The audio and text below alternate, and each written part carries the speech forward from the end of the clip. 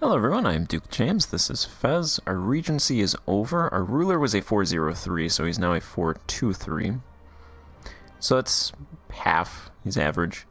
Unfortunately, we have to either begin a new alignment or continue with the current leadership.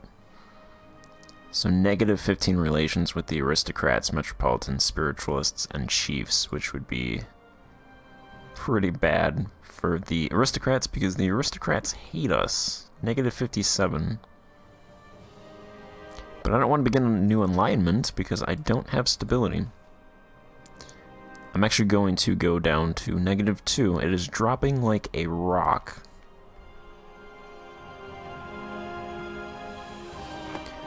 All I did was uh, conquer some territory and do a reform, plus 64%. Overextension is 72%, international influence 30%, current stability 12. There's a lot from current stability, which I'm not actually sure. You'd think if my current stability was negative, that would be something that would give stability. I guess I'm gonna have to do this. Because I don't want to lose more stability. And then I'll go ahead and do a strategic marriage because I'm forced to, so that'll bump up nobility and get them back to negative 57.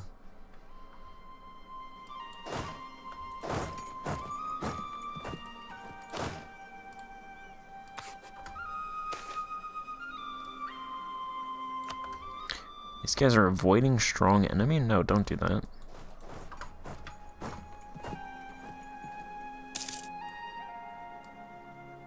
Alright, we are strict, which gives discipline 2%, so that's nice. There's 12 heavies in this group of 17 transports. Seems like a little much. I've annexed Egba. So I now have their territories.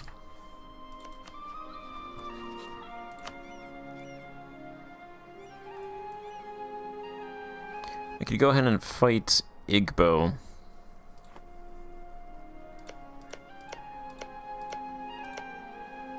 The stability situation is a little bit concerning. Because I'm going to want to do a couple more reforms in the future, at least. Our manpower actually went up 2,000, so that was interesting. But I still want to do service, expand service infrastructure. I need to get my stability back to 1 to do that, so that's going to take a while. The expanding is definitely taking a toll, though. With this overextension. Plus 0.145 monthly autonomy change, 1.4 yearly corruption, 73% stability increase interval.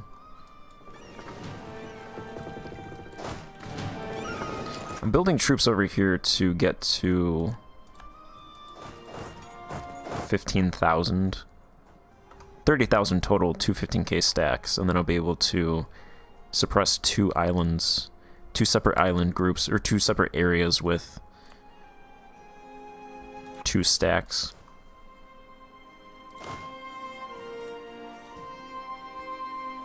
I'm gonna have these guys accept and change their AI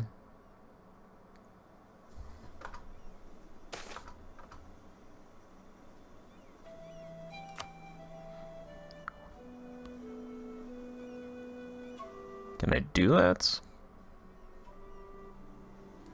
Apparently not.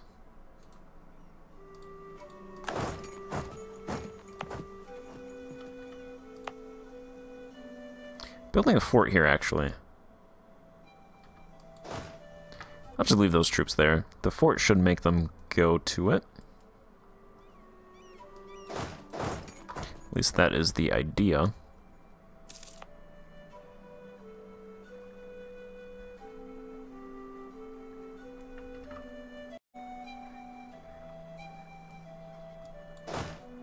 Alright, one is over here, because I had a rebel group rise up here. I thought this area was done with. Here's the unrest map. Okay, looks like there's a little bit of unrest in Bone. This area seems to be fine. There's a little bit of unrest in that island, but everywhere else is good. There's a little bit of unrest over there. There's some unrest up here. I own one province here now from an expedition.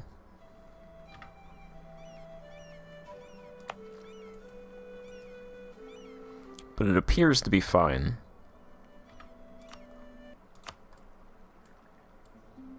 Oh yeah, and then this area is just horrible actually. So I'll have them cover this area and they can cover over here. The unrest actually looks decent over here. These provinces should be converted slowly because of the light ships over here. I moved some other light ships up here to start converting these provinces.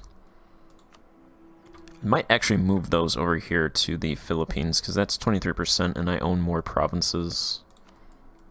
I own pretty much all of the provinces over here for the most part. And there's practically no Sunni provinces over there.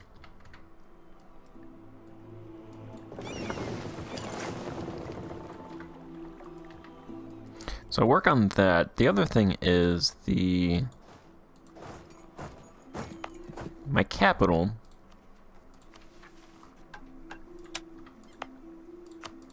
I've been trying to build a capital here for a while, so it's slowly building. So there's no capital at all in my capital, and the capital if you have a capital in your capital, it gives global CE reduction. The first one gives 8%, which is a lot. So what I'm going to do is I'm going to build...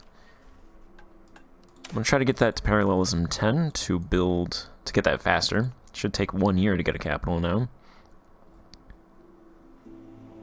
So I'm actually going to build the capital in Fez, the capital in my capital, to rank 4 for 3,000 ducats and uh, set parallelism to 10. That should take 7 years. 7 years for rank 4 capital. In my capital. And then I will go ahead and do fund infrastructure, capital, I'll just set it to 50% for now. Actually, I don't know if that's, I think that resets everything in there. So I'm going to set everything in my capital, because my capital is pretty important, to 50%. Let's set irrigation to 25%. Courthouse doesn't exist garrison to 25%.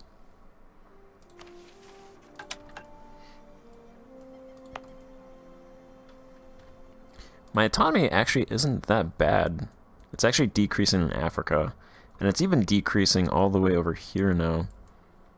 It's 95% in Zanzibar. It's actually increasing a little bit now. But yeah, I'm surprised it's actually increasing all the way over here.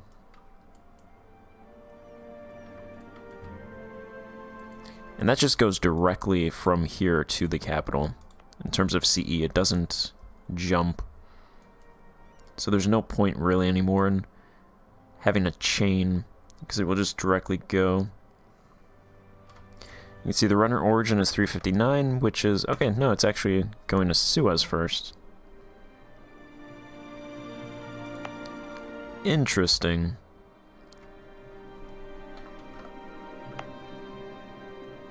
Huh. I checked that out before. It was actually going directly from the capital. So now it's switched to Suez. That's weird. Anyway, there's a couple provinces over here that I stated in chord in this region. These four provinces should all produce spices. If this one produces spices, then they all do. This one does not produce spices. But these three should produce spices. There's spices, spices, and just making sure. Spices, yeah, okay, so those three produce spices. I'll ignore this island. So I'm going to build irrigation in these three provinces. There's no irrigation right now.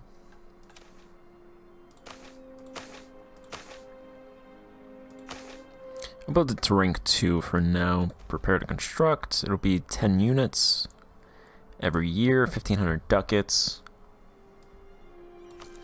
That's good. What are the sizes? Farmland, could do some investment there, could do some investment there. And yeah, I could do investment in all those provinces. So I'm going to go ahead and do... I'm just going to do 100 ducats in all those provinces. Because I'm not going to own that property anyway, so it'll be a net, net zero effect.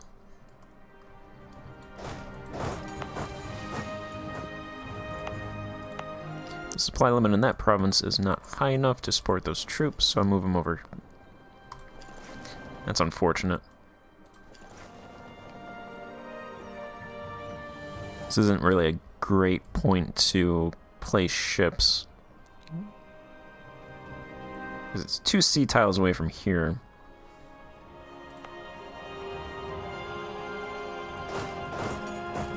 This is, I think this is a good spot because that has easy access to the Philippines and these two, these three provinces which are trouble, and then there's these provinces.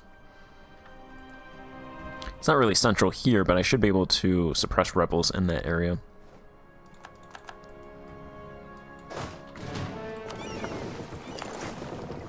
Pick those guys up. There's really no... There's no good supply limit provinces on this side. So I think I'll have to keep them over here then.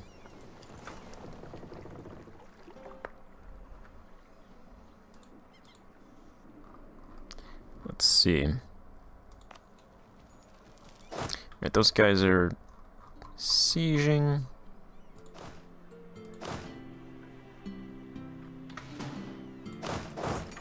Let's actually only put half over there.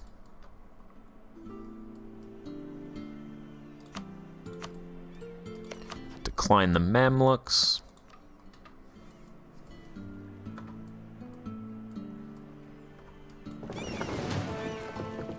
Let's have these guys actually go protect trade in the South China Sea.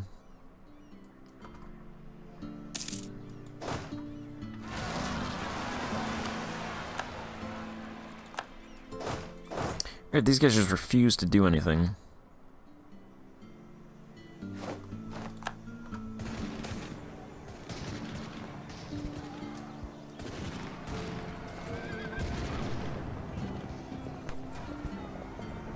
Send an expedition to... There's just no good spots to send expeditions over here because everybody is on par with tech.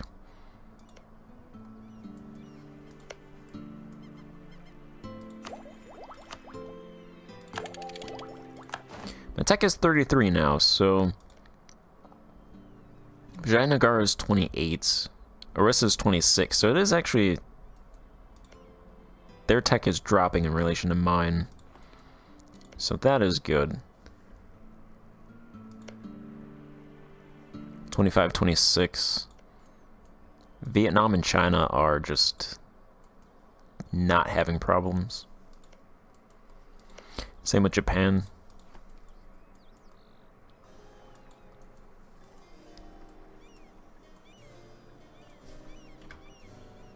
Well, I don't have a node over here, so I mentioned that a couple episodes. I'm going to send it back to the, uh, back to Arabia. Try to grab one over here.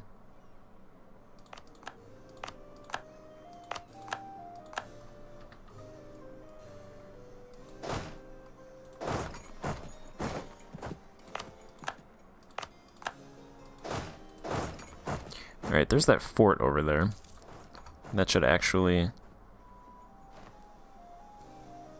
I'm not going to get that for free, because the fort was built after it was taken.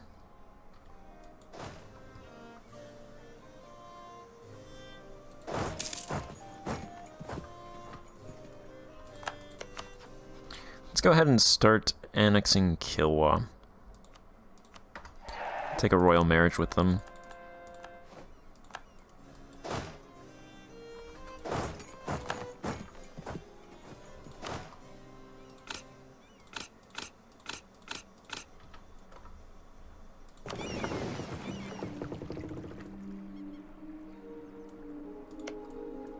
We actually lost this province.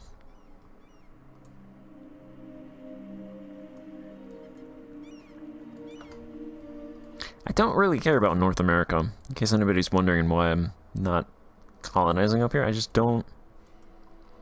I don't care. Also, that's bullshit. That is crap. So, Galicia took a province from Mexico. So essentially,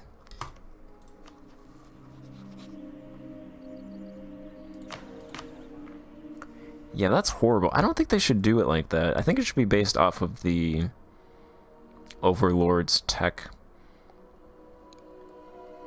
Otherwise, I'm going to be losing these provinces up and down for the rest of the campaign. I'm going to have to be taking those provinces back. And that is just straight annoying.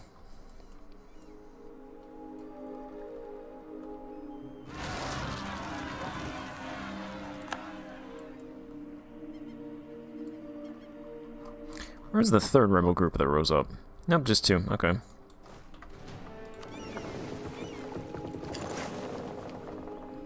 Can I get to that province before?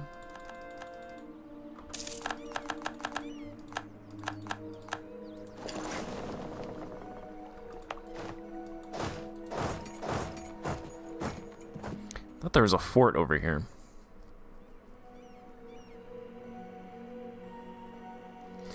I have to build a fort.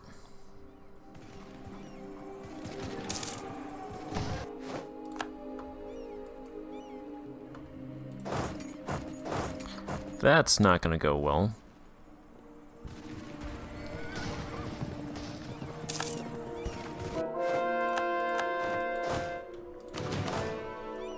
Actually, it went better than I thought it would.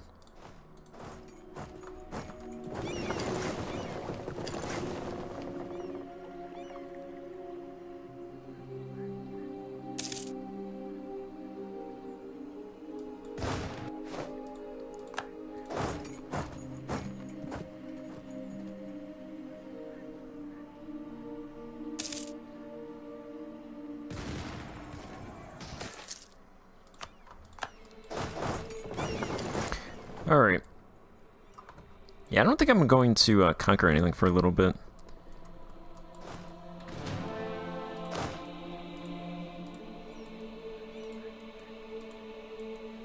So I can get these uh, provinces that I do have to cool down, and I can get some stability, because our stability is negative 2. And it's still decreasing. So uh, I will be back.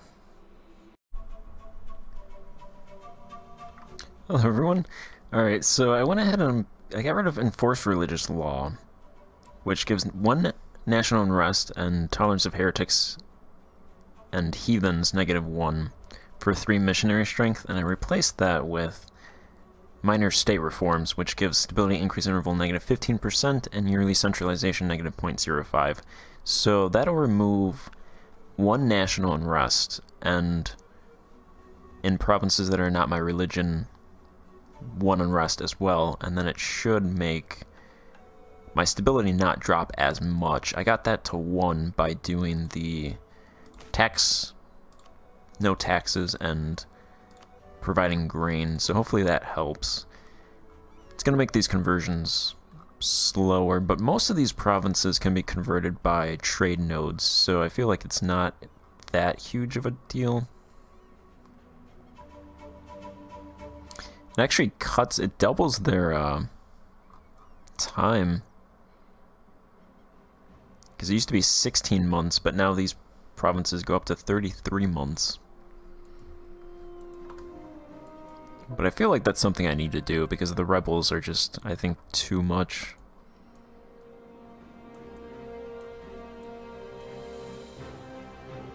What's going on in the world? Looks like Novgorod's actually huge.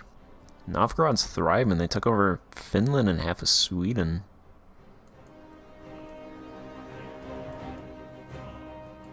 I think that's pretty much... That's the world, really. Because, I mean... I'm conquering most of Africa, so there's not much there. Austria and the Turkish Empire and, and the Commonwealth, I think this is like a little... tripart thing. They're keeping each other from expanding. And the Turkish Empire does not want to expand this way, which is nice. Genoa conquered some of that area. Yeah, I still have rebels, though. There's a lot of rebels still around. So I'm gonna still focus on getting rid of those, so uh, I will be back again. Alright, the other thing I'm gonna do is there's also this diplomatic policy, which is diplomatic relations plus one. I'm gonna dump that and instead I'm gonna grab mediate internal disputes, which does the same thing. Stability increase interval, negative 15% monthly Actually, this gives monthly autonomy change. Which is fine, because really for me, monthly uh, autonomy doesn't really matter, because I make most of my money from properties, so autonomy for the most part, at least in terms of money, doesn't really matter. Because my income is 3,534 ducats, my revenue is 5,000. More than half of that is from property. So that's where I make my money from. Because I do taxes, I cut taxes. Even if I got my autonomy down, I wouldn't collect anything from taxes. Like you can see in this province, I'm not collecting any taxes whatsoever. I could micromanage that, but I just let the AI do it.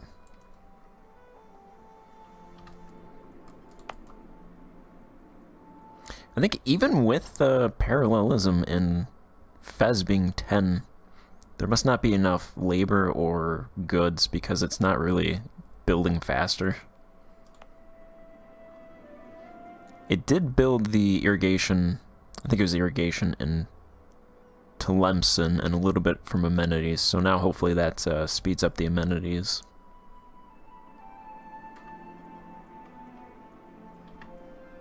I'm gonna do a census.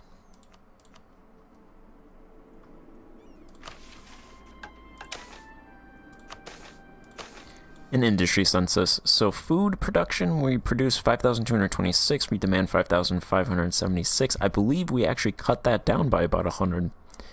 So I think that's actually pretty good. So demand has rocketed up, but we're producing... I assume we increased our production as well to cut that deficit. So our food production has outpaced our demand by a lot, I'm thinking.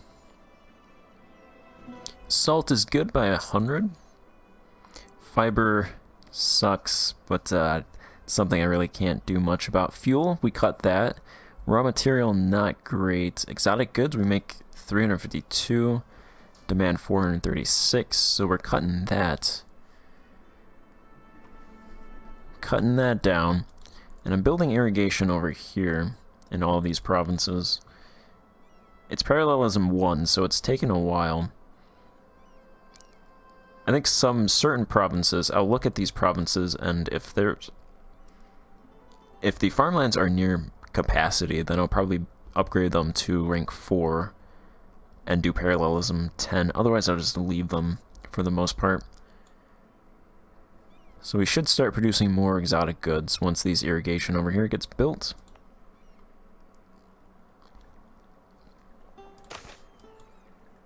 Consumer goods are good, actually negative 20.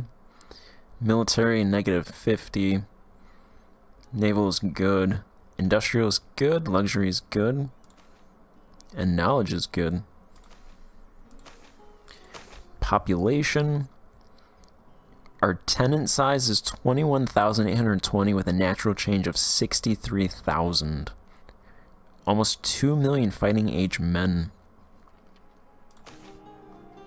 Residents about 6 million, natural change negative 12,000. They're dying in Fez and Tlemcen. I think that's that's a third, if not half, of those.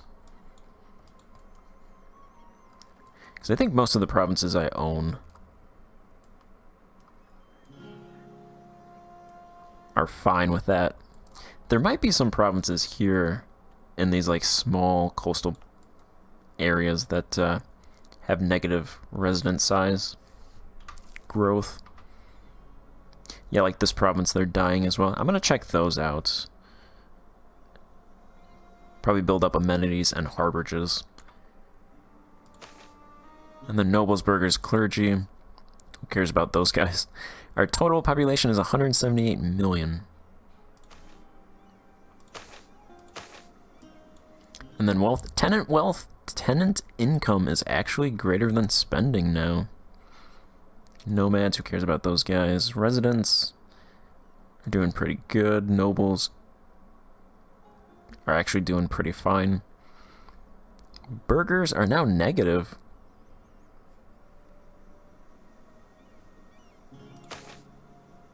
Yeah, their luxury goods aren't, uh, I think for most of my pops, their luxury goods are not being met. But I think that's the same for everybody, really.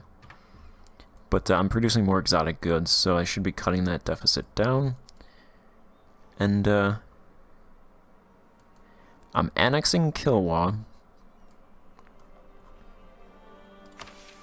I have no relation slots now that I got rid of that one slot, but we should be doing pretty good with our stability. Hopefully it reverses course because that's negative 30%. So that helps cut some of this uh, effect from our overextension. Cuts that in half. And then I'm losing centralization, which I'm actually fine with since I don't make money from my people that would actually, if I reduce this, that would actually increase or decrease core creation cost, decrease liberty, desire, and subjects, decrease national unrest, would decrease tech cost, morale of armies, and global trade, but uh, for a reduction in national unrest, I'm okay with that. So that should be going down, which should improve our national unrest a little bit. Yeah, probably go a little bit, look at some of my provinces, and then uh, get into a position to attack again. It's 1622. I want to attack Igbo, try to take this river here, these four provinces, and then Oyo owns this province, and then I would need to... There's a river province here, it terminates here, and it terminates here. So it goes from here to here, that's a river.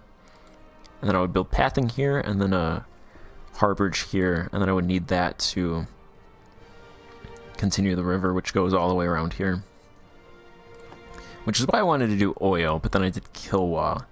Because I think I should do something over here and then go back to Oyo. This is going to take a while to annex them. It would take us 26 years if we did, did it right now. And that's because our Diplo rep is 1.68, so that's... I think I'll try to get that up. I can take something from the nobles. Leveraging the nobility would give me an additional 1.5, so that would double that. So that would make that a little bit quicker. Should do it at 6 instead of 4. So that should cut that in half by, or cut it by 33%. But yeah, for now I'm going to uh, end this part and uh, pick up in the next part. So thank you for watching, and goodbye.